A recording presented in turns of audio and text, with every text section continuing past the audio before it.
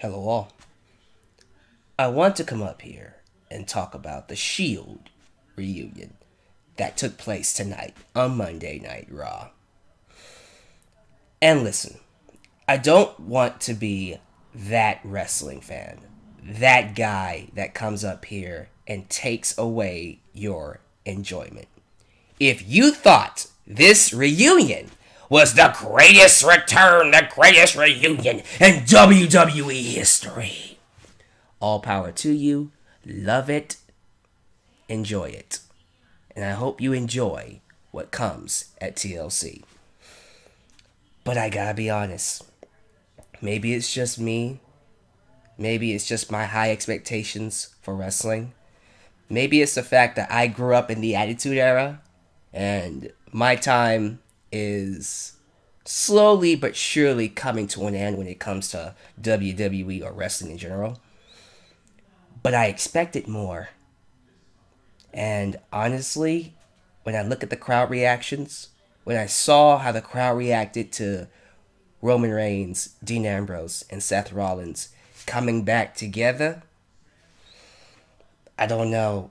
It just made me feel like it didn't give me the punch that I was expecting. Now, look, I liked the Shield reunion. I thought it was cool seeing them come out and attack Miz and the bar like the old school Shield did, even when they attacked Braun Strowman. I liked it. It was cool because I like the Shield. I've always been a fan of the Shield, and that will not change. With that said, I didn't love it. I didn't go crazy for it.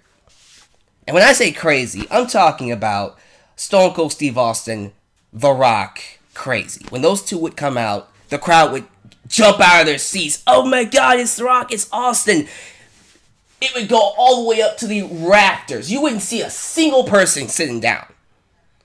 It created magic. And I don't know in this era of wrestling, PG era, whatnot, if we can create that. No, we can't. It's happened. Fans are able to still feel that way about wrestling if you give them a reason to do it. The problem is WWE is struggling to create that because of their lack of storytelling. The ability to tell a story is severely lacking in WWE, and I think it had a hard, hard effect under a Shield return. And I'm going to explain why because uh, I don't know.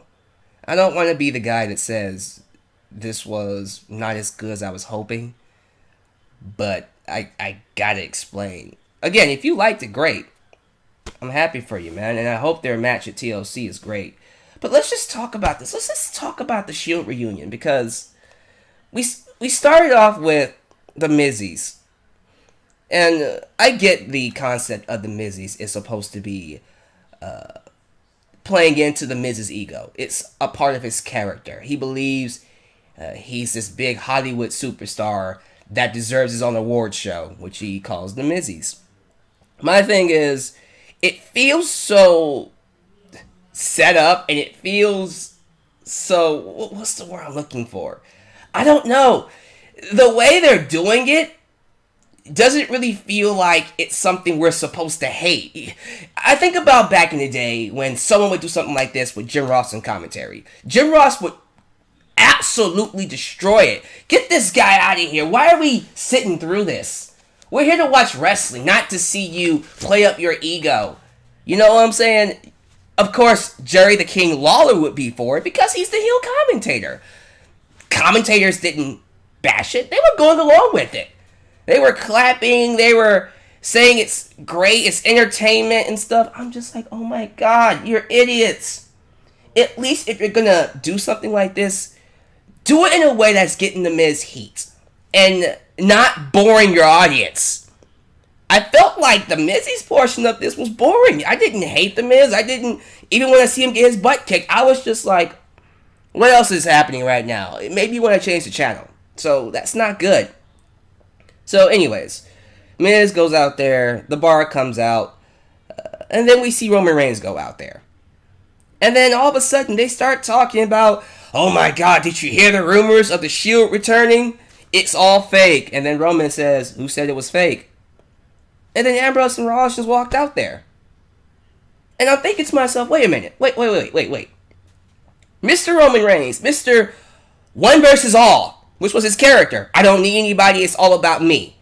One of the most intriguing parts of his character. All of a sudden, okay, you know what? Screw it. I'm just gonna reunite with the Shield because I'm thinking to myself, wait, wait a minute. You're telling me that Roman Reigns can't take on Miz, Cesaro, and Sheamus by himself? Well, he got beat up by them last week. Yeah, I'm pretty sure he would have come out somehow, some way, and just taken them all on. I've seen Roman Reigns just clear an entire ring before. He did it when he was in the Shield. So I don't really feel like they created a, a scenario where Roman Reigns needed Dean Ambrose and Seth Rollins. And therefore, when you don't create that scenario, fans don't want it to happen. Fans aren't, oh, come on, come on, we, we gotta have Ambrose and Rollins to help out Roman Reigns. These, this big, uh, this evil, this unstoppable stable, Miz, Cesaro, Sheamus, uh, Roman Reigns can't beat them unless they have Ambrose and Rollins. And I don't think they created that. I kind of feel like Roman Reigns could take on all three of them by himself. He just has Rollins and Ambrose because he just wants them there. Now, if they would have done Braun Strowman, Miz, Cesaro, and Sheamus, all four of them teaming up on Roman Reigns because they all have this uh, similar agenda, that they hate Roman Reigns. They feel like he gets all the attention. They feel like he gets everything. Uh, nobody likes Roman Reigns, and they all just want him dead, or they want him gone. I won't say dead. They want to see him beaten up, and they want to just take him out. Okay, then you have a scenario where it's kind of like, okay, Rollins and Ambrose, here they come. We have to have these guys here, otherwise Roman Reigns won't be able to beat them. Or at least create the idea that Roman Reigns and this is where storytelling comes in. Roman Reigns is a guy that thinks he can handle things by himself. Create a story where Roman Reigns feels like, okay, I actually hit a wall. I, I gotta have help. Or be stubborn, extremely stubborn to the point that Ambrose and Rollins, as friends, come and tell him, dude, you need our help. You gotta have us here. And Roman's like, no, I don't. I don't need you. I never needed you. One versus all. And then Roman Reigns goes out there, gets his butt kicked so many times that Ambrose and Rollins finally come in. And then Roman actually shows some human qualities, breaks down, and goes, Fine, I need your help. No, we didn't do that. What happened was the Shield came back together. They beat up Miz in the bar, and then they beat up Braun Strowman. So that's how you create the four on three. It's it's actually the more you think about it, it kind of blurs the line a little bit because it doesn't really make them baby faces. I mean, they are the baby faces. They have to be because that's how it works. But it's making fans really confused on okay, who should I cheer for? Or you're making the fans decide who they're cheering for. You're not creating a story where they should or want to cheer for the Shield. You're creating a story where it's just like, okay, it's Braun Strowman, who fans love, who honestly, if you ask me, is the most over babyface in the company, teaming up with Miz, who is a pseudo face. He's a heel, but people like him. Cesaro and Sheamus, and they're taking on the Shield. So, whatever. Story's out of whack. I do like that they added Braun Strowman to the match, though. I think that's really cool. I do feel like it would have been a lot more special if Braun Strowman beat Brock Lesnar then you would have had a really big main event on your hands.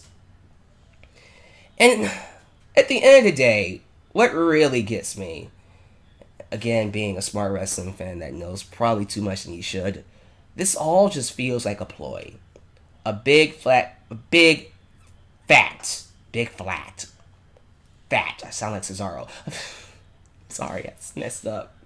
Or Jack Swagger. It feels like a big fat ploy to make fans like Roman Reigns. That's all it is. That's all it is.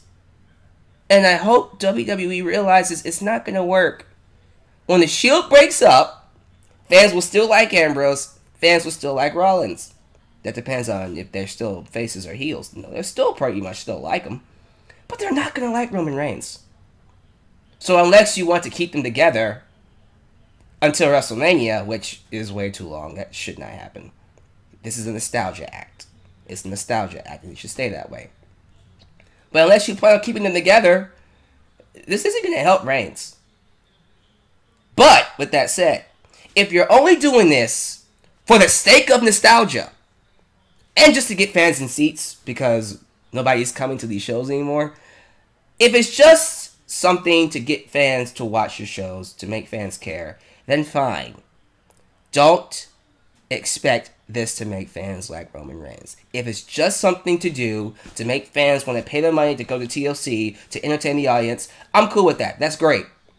Because when I think about that 4 on 3 TLC match, that's going to be crazy. Cesaro, Sheamus, Miz, and Braun Strowman versus The Shield in a 4 on 3 TLC match. That's a hell of a main event. I can't hate on that at all. I just think as time goes by, and I'm looking back on 2017, I'm not going to remember the Shield reunion.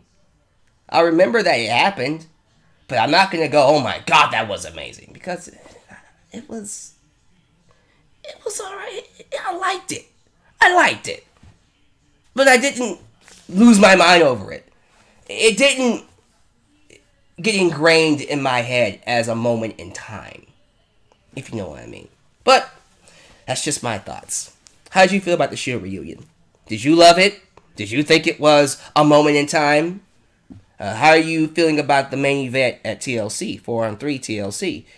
Uh, I hope I hope they have a good match. I hope this does good things for WWE, despite my uh, jaded twenty year wrestling fandom behind not really getting exactly what I wanted. Maybe you guys got what you wanted, and ultimately that's what matters.